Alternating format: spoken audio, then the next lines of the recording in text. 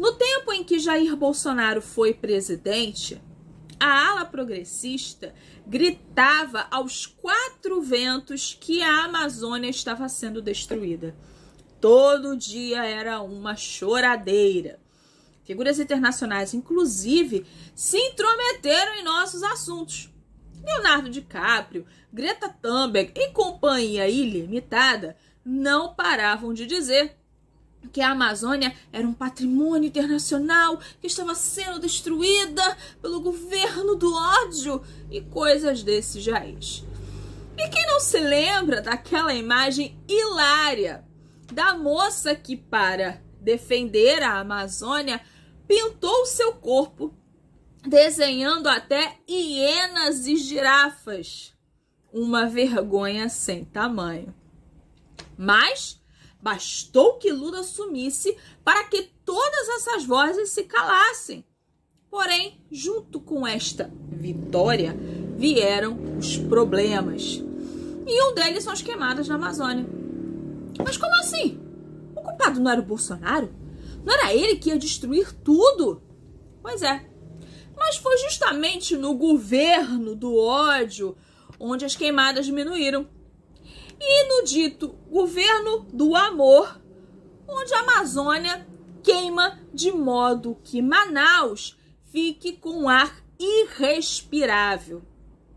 Encoberta pela fumaça de incêndios florestais, a cidade registrou uma das piores qualidades do ar do mundo na quarta-feira, dia 11 de outubro. De acordo com o INPE, Instituto Nacional de Pesquisas Espaciais, o Amazonas alcançou o recorde de quase 3 mil focos de incêndio entre os dias 1 e 12 de outubro. Mas para Marina Silva, ministra do Meio Ambiente, a culpa é do Bolsonaro. Coitado do homem há 10 meses afastado da presidência e ainda acusado de coisas que não fez. Agora, todo mundo sabe que a Amazônia é cheia de ONGs. E para que elas servem afinal? Talvez para tirar dinheiro, não? E pior, até Dona Marina Silva tem ONG.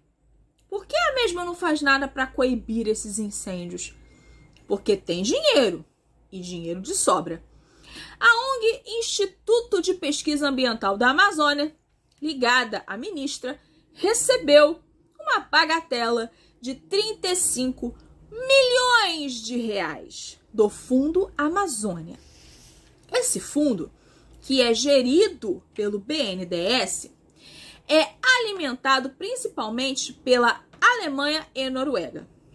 As áreas de atuação do fundo se dividem em ações de controle, monitoramento, fiscalização ambiental e manejo florestal sustentável, gestão de florestas públicas e áreas protegidas, manejo florestal sustentável, atividades econômicas desenvolvidas a partir do uso sustentável da floresta e conservação e uso sustentável da biodiversidade. No final de 2022, o Fundo Amazônia alcançou a cifra de 5,7 bi de reais.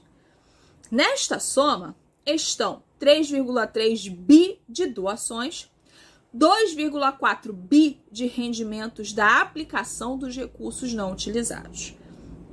Dos 3,3 bi doados, 93,8% vieram do governo da Noruega 5,7% do governo da Alemanha e 0,5% da Petrobras.